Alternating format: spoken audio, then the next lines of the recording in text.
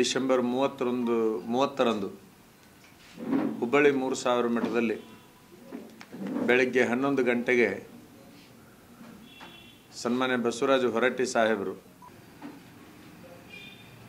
ಮುಕ್ತವಾದ ಚರ್ಚೆಗೆ ಅವಕಾಶ ಕಲ್ಪಿಸಬೇಕು ಅನ್ನುವಂತಹ ಒಂದು ವಿಚಾರವನ್ನು ಹೊರಟ್ಟಿ ಸಾಹೇಬರಿಗೆ ನಾವು ಹೇಳಿಕೊಂಡ್ವಿ. ಆ ವಿಚಾರವನ್ನು ಹೊರಟ್ಟಿ ಸಾಹೇಬರು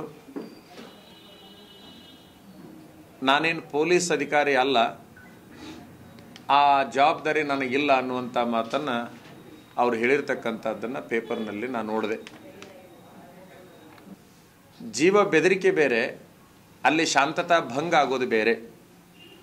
ಆದರೆ ನಾನು ಹೇಳೋದು ಇಷ್ಟೇ, ಅವರ ಇವತ್ತಿನ ಹೇಳಿಕೆ ಇಡೀ ರಾಜ್ಯದ ಮಠಾಧಿಪತಿಗಳನ್ನು ಮತ್ತು ಸಮಾಜ ಬಾಂಧವರನ್ನು ಮುಜುಗುರಕ್ಕೊಳ ಮಾಡಿದೆ ಒಳಗ, ಒಳಗಾಗುವಂತೆ ಮಾಡಿದೆ.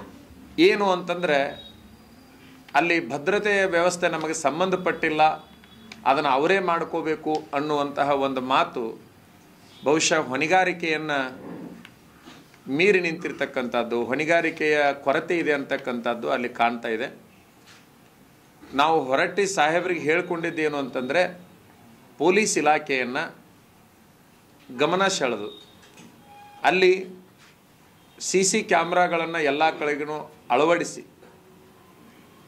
ಮುಕ್ತ ಚರ್ಚೆಗೆ ಅವಕಾಶ ಮಾಡಬೇಕು ಅಂತಕ್ಕಂತಹ ಒಂದು ವಿಚಾರ ನಮ್ಮದು ಈಗಾಗಲೇ ಅವರು ಐದೈದು ಜನ ಚರ್ಚೆಯಲ್ಲಿ ಪಾಲ್ಗೊಳ್ಳಬೇಕು ಅನ್ನುವಂತಹ ಒಂದು ವಿಚಾರವನ್ನು ಪ್ರಕಟಪಡಿಸಿದ್ದಾರೆ.